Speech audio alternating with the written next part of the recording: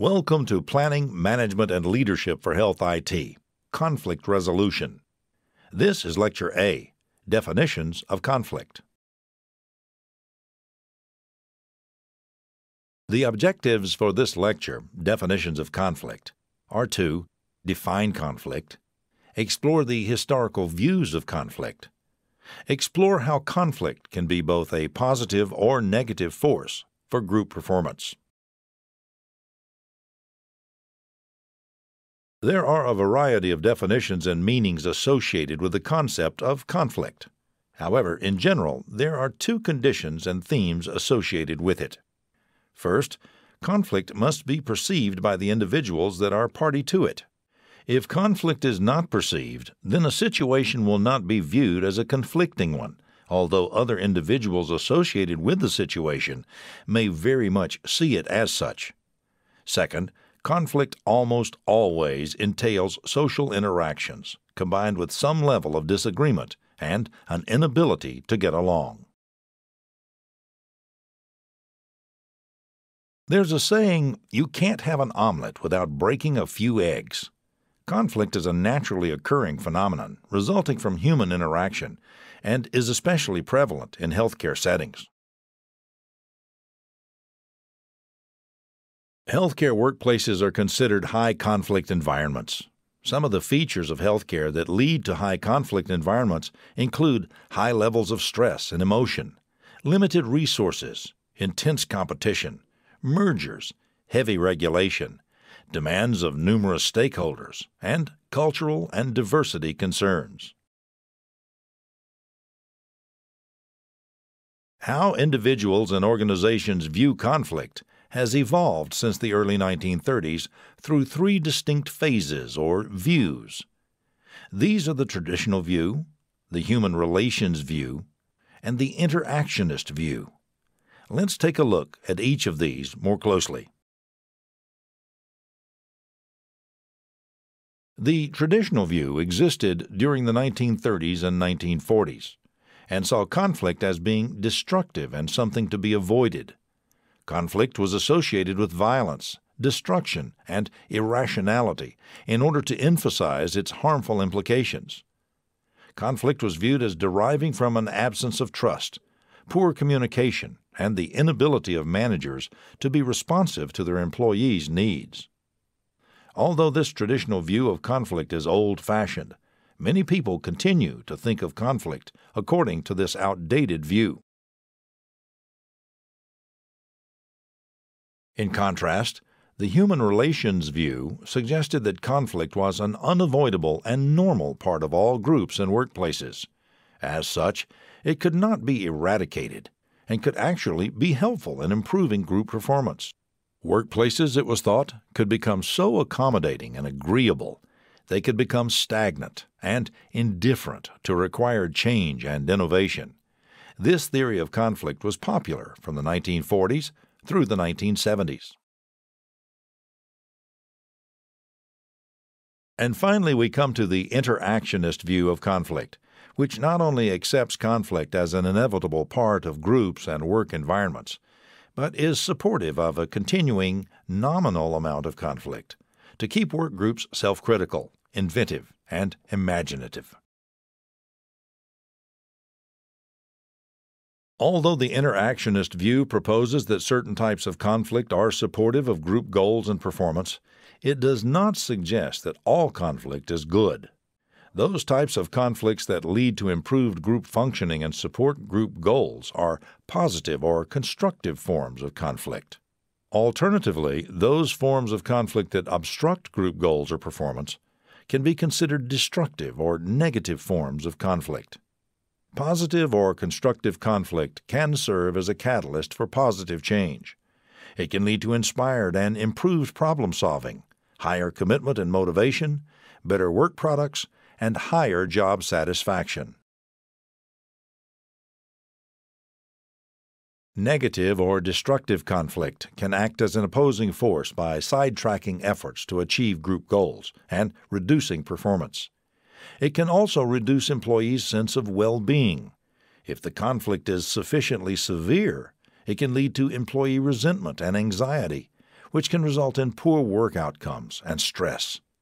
Rampant negative conflict can result in cultures that do not uphold helpful and trusting interpersonal relationships. Such cultures, when present in healthcare settings, can be detrimental to patients.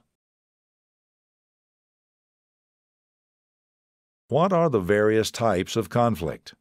To assist us in differentiating good and positive conflicts from bad and negative conflicts, let's break conflict down into three sections relationship conflict, process conflict, and task conflict.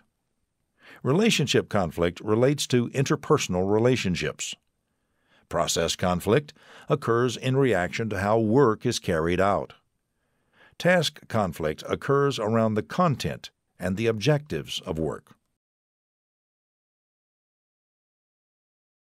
Research shows that relationship conflicts are commonly negative. Such conflicts occur due to personality clashes that result in opposition, resentment, and anger, and result in poor interpersonal communication and understanding, which in most cases leads to poor task performance. Conversely, the process of low process conflict and low to average task conflict is often positive and fruitful. Process conflict must remain low to be functional and productive. If high, Process conflict generates vagueness about the task to be performed and results in more time to finish work. Task conflict at low to average levels typically improves the work efforts of a group as it motivates members to talk about ideas and options that can improve the group's performance. Kolb and Bartunek present four basic types of conflict as yet another way to conceptualize and classify conflict. Their conceptualization includes the following types of conflict goal conflict, cognitive conflict, affective conflict, and procedural conflict. These types of conflict can occur simultaneously and are not mutually exclusive. Let's explore these types of conflict a little more over the next few slides. In goal conflict, we see the incompatibility of two or more goals or outcomes. An HIT example might be where the medical practice has decided to purchase an EHR. The physicians have been through the training on the new system and are ready to begin documenting. The vendor has strongly urged the practice to consider first turning on only the practice management portion of the software to ensure that the disruption to the accounts receivable days is minimized. The physicians are outraged. Why did they go to the trouble of being trained and reorganizing their workflow only to be trumped by the billing office? Why can't they both be turned on at the same time? For that matter, why can't the billing office wait and let the physicians begin documenting first? This conflict highlights the conflicting goals of the different groups. Your role as an HIT professional will be to understand why both groups prefer a certain solution and try to find a path that can address all valid concerns. The next type of conflict, cognitive conflict, includes conflict resulting from the incompatibility of thoughts and opinions within a person or among people. For example, if a laboratory department wants its own IT support from a mom and pop shop model that they are familiar with, while corporate IT wants a more formal model for efficiency, there is going to be some cognitive dissonance between the two parties.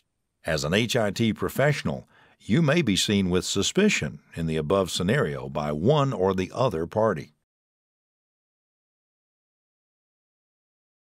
The third box in this series, affective conflict, is the incompatibility of emotions or feelings within a person or among people.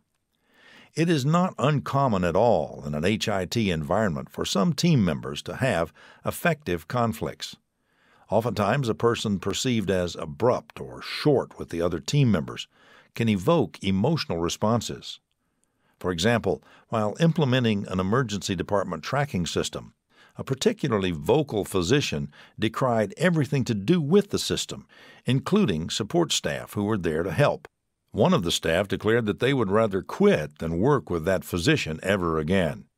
To address this issue, the project manager had to assign someone else to manage that physician specifically and keep the emotionally injured staff member distant from that physician. The last type of conflict on this list, procedural conflict, occurs when individuals differ over the procedure for resolving an issue or carrying out an assignment. An example of this would be when one team member immediately involves the team leader to resolve all disputes, while another prefers team members to resolve their own conflicts and only wants the leader involved if the team members cannot agree. This concludes Lecture A of Conflict Resolution. To summarize, in this lecture we defined conflict and traced how ideas of conflict have changed since the early part of the 20th century. We studied how conflict can be a positive force as well as a negative one, and we looked at different types of conflict.